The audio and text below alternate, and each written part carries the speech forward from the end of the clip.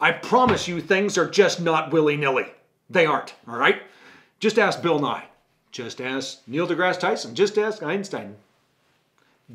Whatever you do, don't ask a cognitive psychologist. Sorry, that was a bad inside joke. Anyway, um, so no, the word is determinism, folks. In other words, things happen because other things happen which kind of gets weird if you think about it long enough because what was the first thing to happen that caused the other things to happen that happened this and happened that? Determinism links in a chain baby. Um, so this thing right affects this thing affects this thing but we're not talking about strict determinism. Strict determinism is a little different. We're not going to get into the philosophy of that but determinism remember people often think okay well i experienced this okay, whatever this is, right? So I experienced some sort of reinforcement in the past, which then leads to me engaging in that behavior again in the future in a similar context sort of determinism, right? The experience here determined what you're going to do there. It's not predeterminism. Predeterminism is, predeterminism is a religious sort of thing where your life is laid out for you. It's been predetermined. That's not what we're talking about. Determinism, one experience or something causes something else. Now, it does not have to be connected like links in a chain. I make the joke about links in a chain to help you understand it,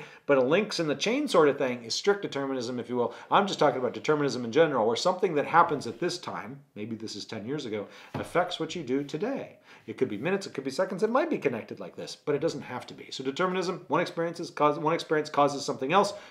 It's a normal sort of physics thing. That's really all you got. And in our field, in psychology, in this particular type of psychology, determinism is important because behavior doesn't happen willy nilly. It happens for a reason because of what has occurred in your reinforcement history.